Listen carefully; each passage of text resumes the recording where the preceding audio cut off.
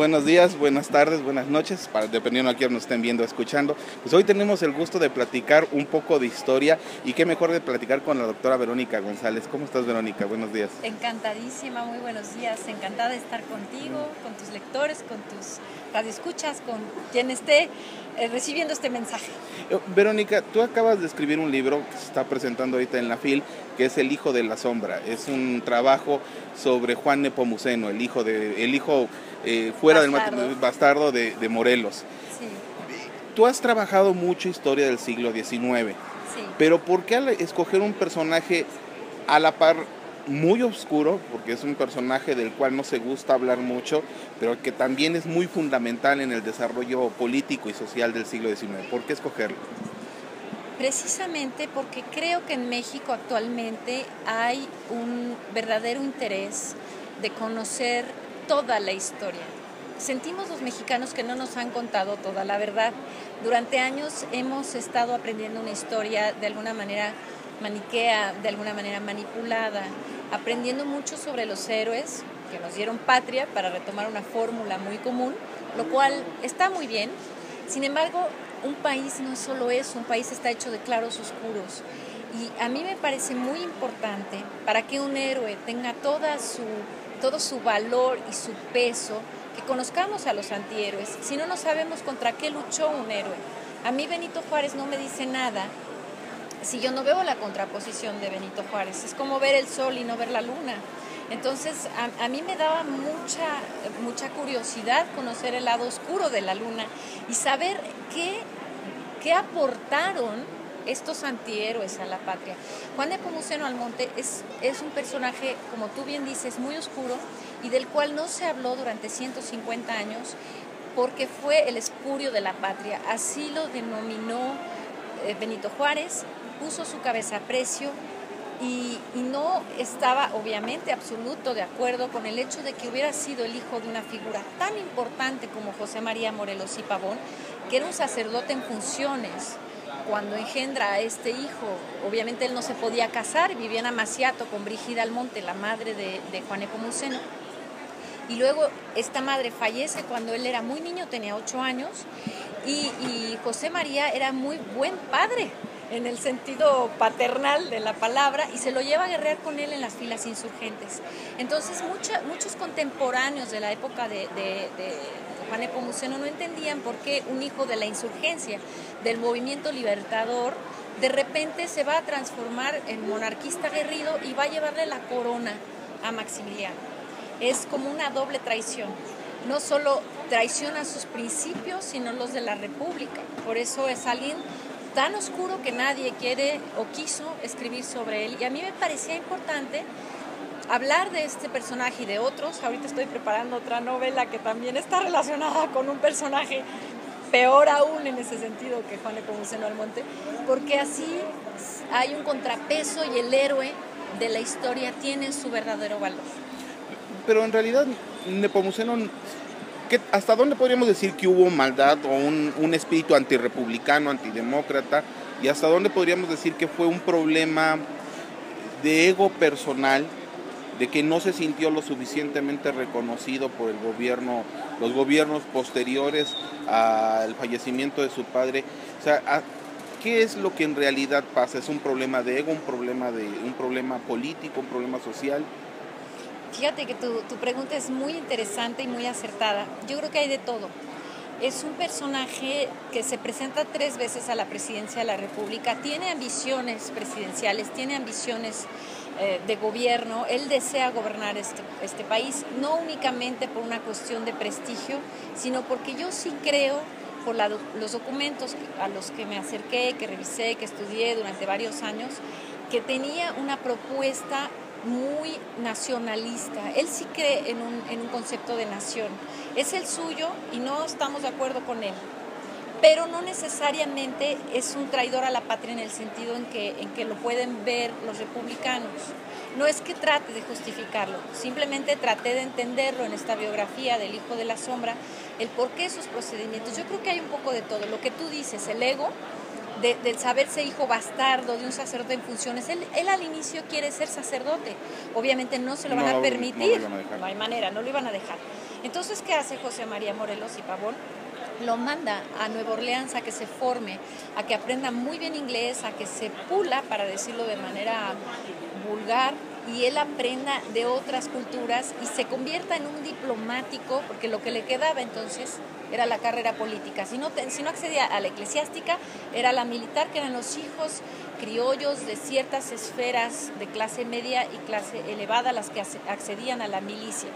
Y en el caso de él, pues José María es un militar, entonces va a esperar a que su hijo sea también un militar, pero un militar mejor preparado, que hable francés, que hable portugués, que hable inglés. Y lo manda muy joven, un tanto para protegerlo, porque él ya sabe que su, vida corre peligro y, y, el fusilamiento de 1813 le va a dar la razón. Y entonces lo mantiene lejos y, y su apuesta funciona perfectamente, porque al final Juan Epomuceno es un hombre muy preparado que de verdad tiene una propuesta para el país.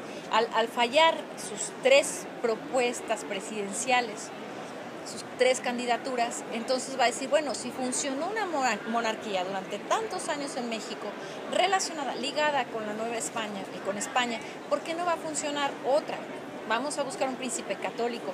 No hay que perder de vista que hay eh, en toda esta generación de jóvenes militares que salieron del, del, colegio militar que se hallaba en el fuerte de Chapultepec, hay toda una corriente que defendió a la nación en 1847 en contra de la invasión yanqui cuando perdimos la mitad de nuestro territorio y los norteamericanos se quedan con todo este territorio que era enorme. Entonces ellos estaban profundamente humillados, indignados y muy asustados de que Estados Unidos regresara a recuperar lo que quedaba de territorio y no solo nos dejaran sin patria, sino nos dejaran en una nación apóstata, como decían los documentos de la época, protestante. Era lo peor que le podía pasar a México.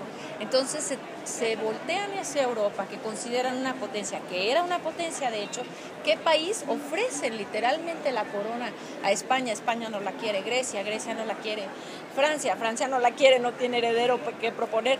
¿Quién queda? Austria. Eh, tenemos un emperador que se quiere deshacer de su hermano más joven cuanto antes porque él ya no lo quiere tener entre, entre su corte para que no le vaya a quitar o no le vaya a hacer sombra y no le vaya a quitar poder adiós Maximiliano, váyase a México. Entonces, eh, hay todo un contexto político que es fascinante relacionado con este periodo del Segundo Imperio, que yo creo que valía la pena explorar desde la perspectiva de los traidores. Ahora, eh, alguna parte que igual no es el objeto principal de la obra, pero que como historiadora no puedo evitar preguntártelo, es, al final hubo muchos rumores, ya cuando, ya en el siglo XX, cuando se empezaron a buscar los restos de Morelos, ¿no? que al final decían que estaban con Juan Nepomuceno en París, e inclusive se aprovechó para mandar una misión y traer los restos de Juan Nepomuceno, pero los trajeron muy de escondidas, no querían hacer mucho ruido, eh, pero tampoco se encontró lo de, Morelos. ¿Qué tan, ¿Qué tan vetado o qué tan eh, prohibido sigue siendo hablar ahorita de Juan Nepomuceno? Y lo digo en función de esa misión que trae los restos de él. Yo creo que sigue siendo un personaje muy oscuro por el hecho de ser el hijo de quien fue. Él tiene esa carga brutal y nadie tiene la certeza absoluta de que los restos de Morelos estén en la, en la columna. Lo, lo esperamos como nación. ¿Por qué lo esperamos? Porque necesitamos héroes, como todas las naciones del mundo. Necesitamos hombres, hombres fuertes que nos guíen, que nos den un, un liderazgo histórico. Entonces, los restos de Juan de Pomuceno Almonte están en París, no se los trajeron. Sí, efectivamente hubo una exhumación a cargo del historiador Villalpando en 93 y él estuvo con personal de la embajada revisando en qué situación se hallaba el féretro, en, muy buen estado de conservación, espléndidamente bien conservados porque filmaron, e incluso con su levita y demás. No se encontraron los restos de Morelos. Fue una teoría que surgió en 1923 cuando los restos de los héroes, de los próceres de la patria, sepultados debajo del altar de los reyes en la Catedral Metropolitana, fueron trasladados al recién inaugurado eh, monumento del Ángel de la Independencia donde debían ser resguardados. Y al moverlos hubo un periodista que se llamó Jacobo Dale Vuelta que se dedicó a contarlos y dijo falta el de Morelos y él escribió un artículo relacionado al respecto qué pasó con los huesos de Morelos y a partir de ahí se teje toda una serie de teorías que si los aventó Juan Epomuceno en el mar y nos, o se los llevó o los escondió. Era muy em, sabrosito endilgarle el pecado al hijo de Morelos. Claro, ¿por qué no? Era traidor por los cuatro costados, era el hijo bastardo, era el no reconocido, era el que murió abandonado en París de una angina de pecho en 1869. Entonces, sonaba con cierta lógica, sí lo hubiera podido haber hecho en el siglo XIX. Lo que yo cuento relacionado con los huesos de Morelos es mi libertad de novelista, por eso no es un ensayo histórico. A pesar de que está perfectamente bien documentado y que tiene fuentes totalmente comprobables en archivos nacionales franceses, que es donde trabajé principalmente, tampoco puedo decir que tengo la certeza de que los huesos de Morelos están en la columna de la independencia o no están, o los tiró o no los tiró. Seguimos aún en 2015 con esas preguntas históricas. Y qué bueno que no se resuelvan.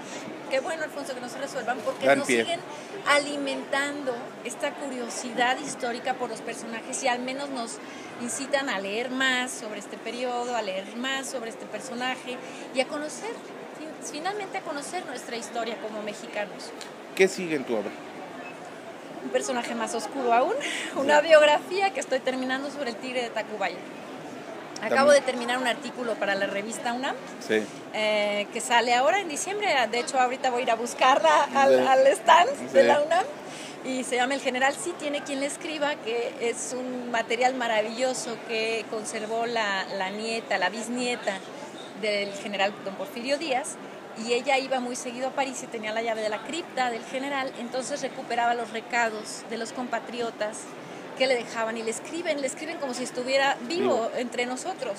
Allá donde tú estés, por favor, escúchanos, eh, regresa pronto, te esperamos para que vengas a poner orden a este país. Hay unas perlas, hay unas maravillas. Y ella juntó 15 años de recados tuvo la gentileza y la confianza de entregármelos y yo escribí un artículo que se llama El general sí tiene quien le escriba. Está muy bueno. en la revista UNAM. Ese, de este número de diciembre. De este número de diciembre. Y el otro proyecto es El Tigre de Tacubaya, que fue un general conservador bastante sanguinario y él sí muy controversial, de los cuales sus contemporáneos escribieron muchísimo. Bueno, ha sido un placer platicar contigo, Verónica. Igualmente, yo te agradezco.